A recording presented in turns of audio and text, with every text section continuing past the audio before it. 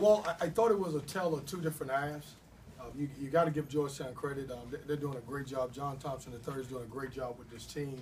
Since they had their early losses, they, they, they've won now with us five in a row. And uh, I thought in the first half we didn't do a great job of guarding the three-point line. And, and certainly when you look at the stat sheet, they ended up making 10 threes in the game.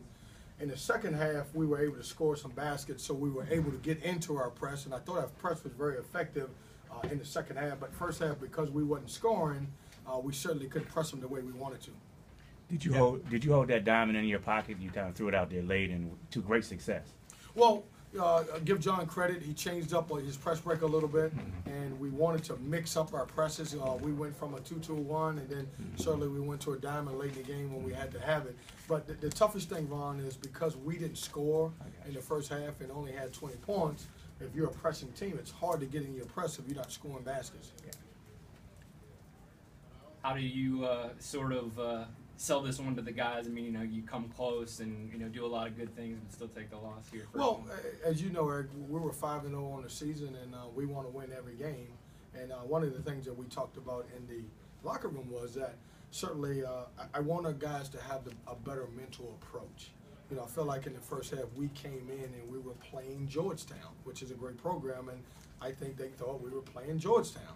And, and certainly when they settled in and decided to play and, and understand that you know played our game, I thought we played better basketball in the, in the second half and had a chance to win towards the end.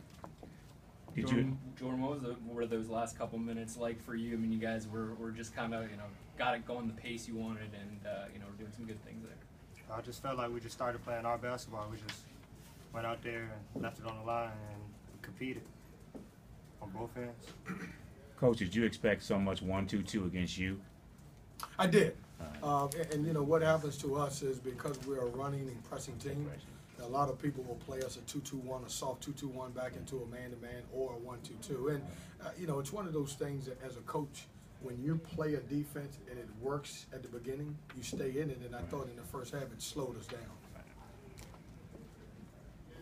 How did uh, the fouls change the rotation you wanted and kind of the game you wanted to play matchup wise? Well, I, I think it changes because you take some of your natural scores off the floor, but you know certainly um, you know we're prepared for any situation because we play 11 guys, and um, you know I, I thought it changed a little bit because Craig wasn't in there to score, and then we had some different guys that didn't get a chance to play on the offensive end. But I don't think it changed us at all defensively. Dylan, what do you think the difference was uh, for you guys? You know, kind of wanted to play that way probably the whole game, and you know, eight minutes was almost enough. Um, I think the big thing for us was in the second half. Offensively, we settled down. We just hit some shots. So, like you said, allowed us to get into our defense a little bit. And really, it was just a lot of momentum. Um, and we just started believing. Coach kept telling us at every media timeout, just don't quit. We're gonna ride this out. Slow play 'em a little bit. Just get get back into it. And uh, we gave ourselves a pretty good shot. For the for the players, your uh your coach is a real energy guy. Does he demand that from you?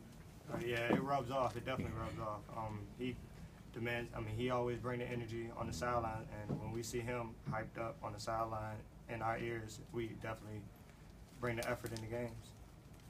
For anyone, when you come back off of a ten day break for exam, is the hardest part the mental or the physical or both or something else? Well, I think it's both. I mean, you know, obviously we've got a, um, our school is a great academic school, and these guys have been challenged in the classroom for the last three or four days.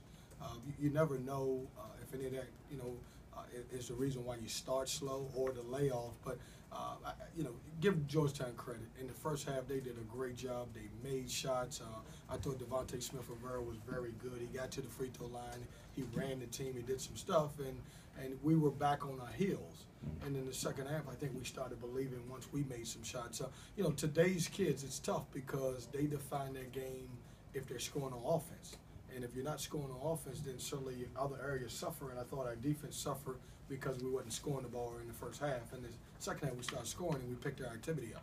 You guys obviously hadn't been in a position like that yet this year with this group. I guess what do you get out of uh, you know being in that situation? Well, I think it's a lot. I mean, you know, when you when you look at it, you got to tell the two halves. I, I have the opportunity now to go back and show us where I thought we didn't play well for 20 minutes, and then you know, in the second half, you played great basketball, and you know, it's a great teaching thing for us, and you know, to, to have an opportunity to come in and play Georgetown in the Big East with a great program, and to play them close with the opportunity to win, I think we can take a lot out of it. outside of uh, that five minute period with the diamond, do you think their alternative ball handlers, maybe number 11, 32, 5, do you think they did a pretty good job against your your full court man?